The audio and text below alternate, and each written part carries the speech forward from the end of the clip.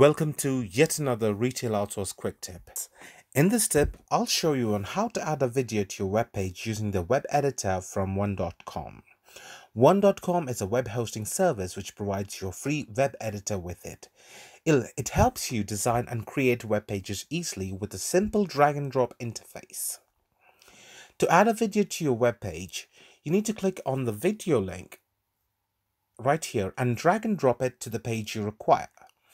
Once it's placed here, you will have a pop-up where you can search in the videos you require, or you could just go to YouTube and copy the link of the video from the address bar and paste it right about here. Once you do that and hit search videos, your video pops up here. Click on the video and it gets integrated to your screen. You can resize it from here and choose where exactly you want the video on the page and then hit the save button.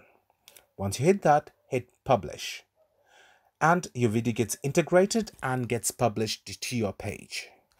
Once all this is set, you will have a tick mark saying that your page has been published. There you go. Thanks for watching.